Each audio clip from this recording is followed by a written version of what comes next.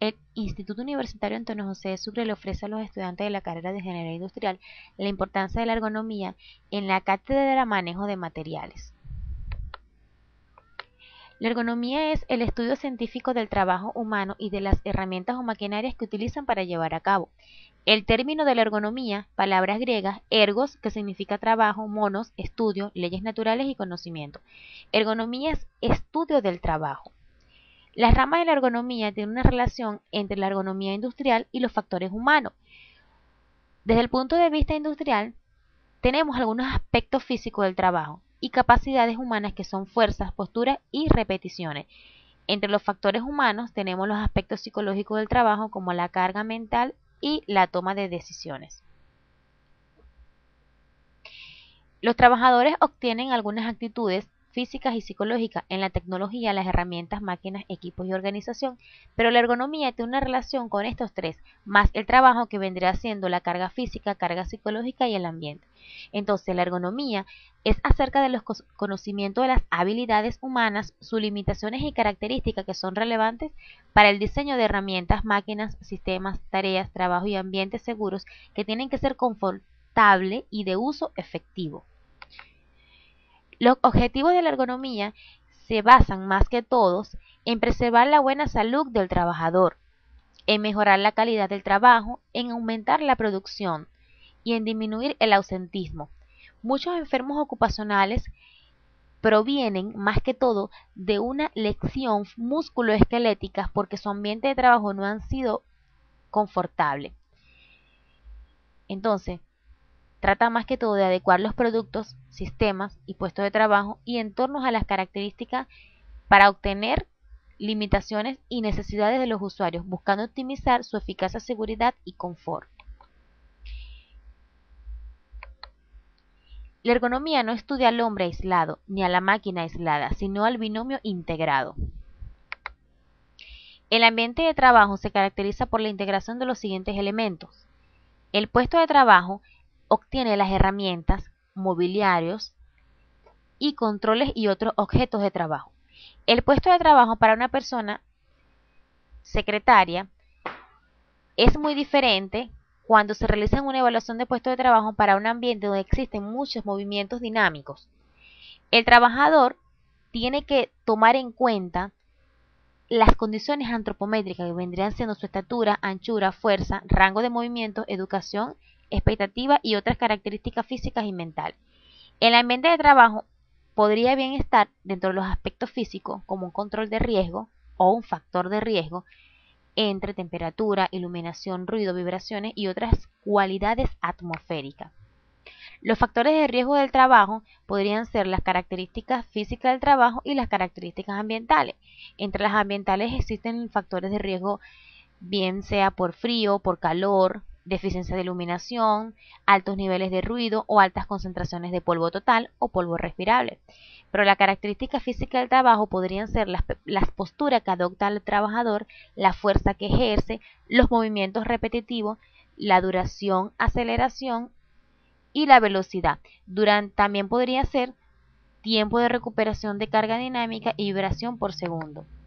La postura es la posición que el cuerpo adopta al desempeñar un trabajo. La postura agachado se asocia con un movimiento de riesgo de lesiones.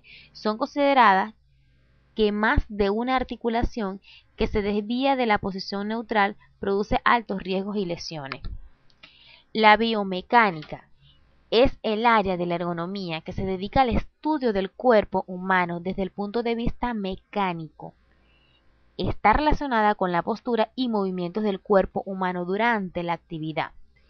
Es la ciencia que también aplica las leyes del movimiento mecánico de los organismos vivos y está muy relacionada con la antropometría, que vendrían siendo las dimensiones estructurales que son la de la cabeza, la de los troncos, las extremidades, en posiciones estándar, mientras que las funciones dinámicas incluyen medidas tomadas durante el movimiento realizado por el cuerpo en actividades específicas. La antropometría, como pueden observar, son las dimensiones del cuerpo y la biomecánica son los movimientos que las personas ejercen. Entonces la ergonomía está relacionada con la antropometría y la biomecánica, porque a través de este nosotros podemos ver cuál es el movimiento que la persona adopta y cuál segmento corporal biomecánicamente la persona está exponiendo durante la realización de un levantamiento de carga o durante los movimientos repetitivos cuando se trabaja en una oficina.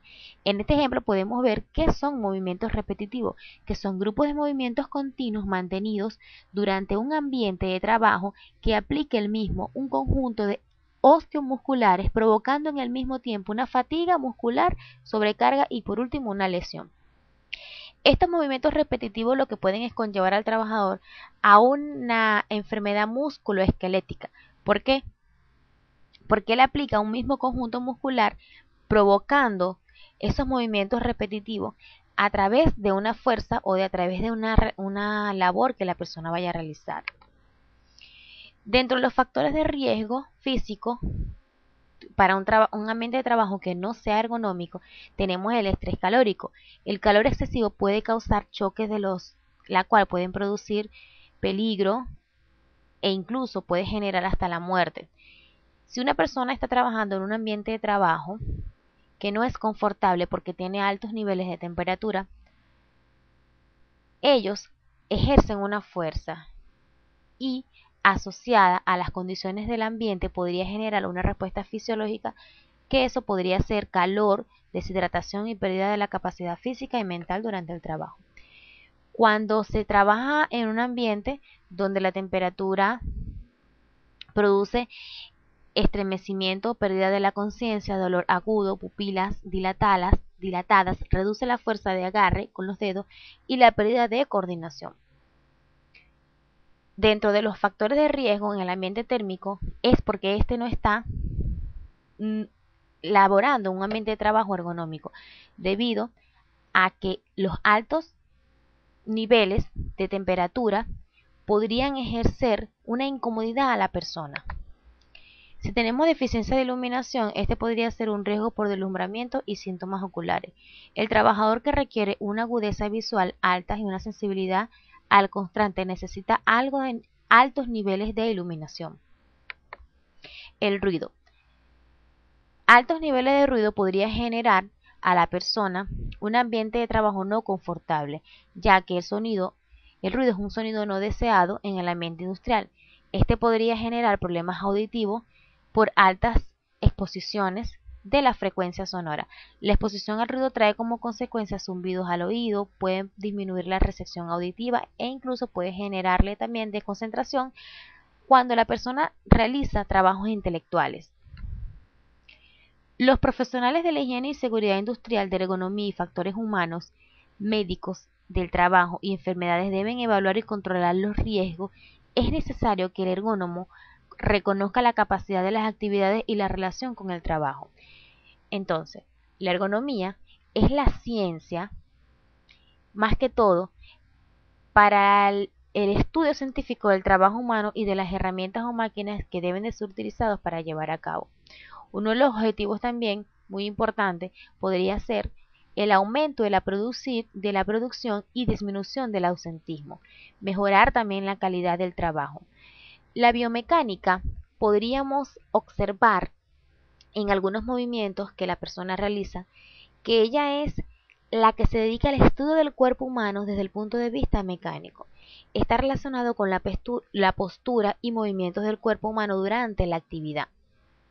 Entonces, si nosotros tenemos algunos problemas en los que la biomecánica ha intensificado su investigación ha sido el movimiento manual de carga y los microtraumatismos repetitivos o trastorno por traumas acumulativos. La biomecánica también podría ser biomecánica ocupacional o biomecánica deportiva, ya que la biomecánica medida evalúa las patologías que podrían generar al cuerpo un nivel de músculo esquelético para generar soluciones.